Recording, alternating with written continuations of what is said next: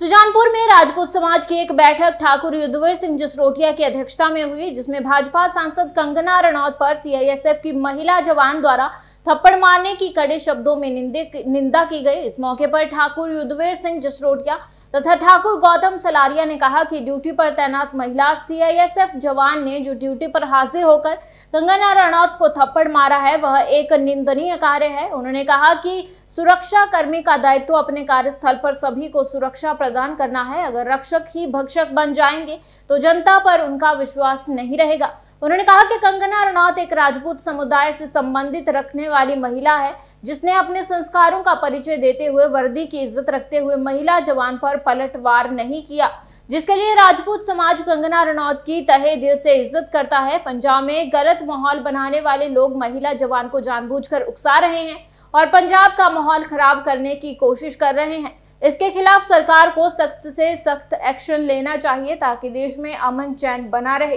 इस मौके पर ठाकुर युद्धवीर सिंह जसरोटिया ठाकुर गौतम सलारिया सुनील सिंह हैप्पी प्रथम ठाकुर पिंटू जसरोटिया अमित शिवम पुरुषोत्तम सिंह सोनू प्रभजोत प्रबल वंश प्रताप गौरव प्रदीप सिंह आदि उपस्थित रहे। पठानकोट से आलोक कुमार की रिपोर्ट। तो से ये मैं बात करने लगा हूँ।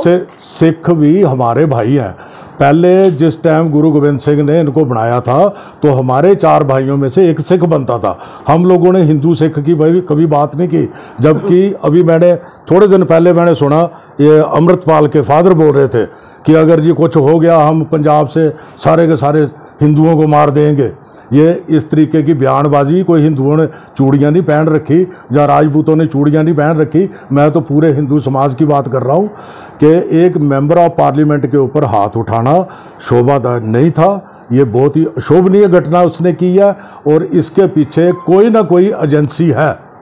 कोई ना कोई एजेंसी है ये उनके हाथों में खेल रही है क्योंकि पहले तो ये लड़की कुलविंदर कौर क्या ये बैठी रही।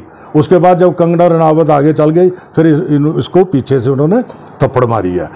ये जो ये भी उसका जवाब दे सकती थी लेकिन फिर भी मैं देखा कि कंगना रनावत ने पहले भी एक बार माफ़ी मांगी थी कि चलो ठीक है मेरे मुँह से कुछ निकल गया अगर कोई ऐसी किसी की माँ बहन बैठी हुई थी तो बोल दिया उसने तो उसके लिए मुझे माफ़ी चाहिए।